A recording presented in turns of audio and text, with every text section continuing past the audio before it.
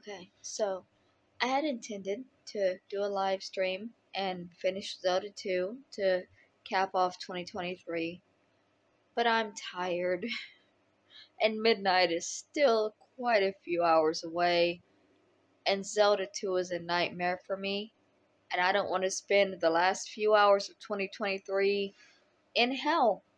so I'm just going to call it um, I am going to finish Zelda 2 eventually. Maybe tomorrow night, but I'm not going to bother trying to do it tonight. I'm not going to torture myself with that.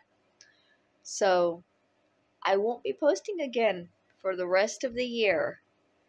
And when I come back, we will be finishing Zelda 2.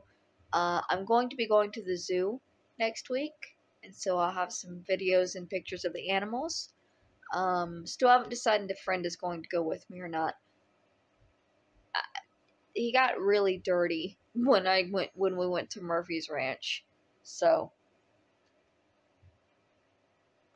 goodbye 2023. I hope everybody has a safe and happy night of celebration and doesn't do anything stupid because alcohol can make you do some stupid things. And I know a lot of you are drinking because it's what everybody does on New Year's.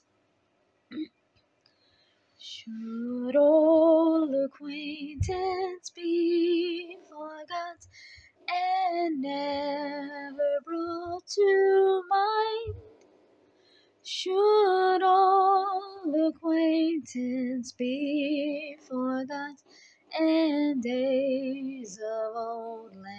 lang for lang syne, my dear, for lang syne.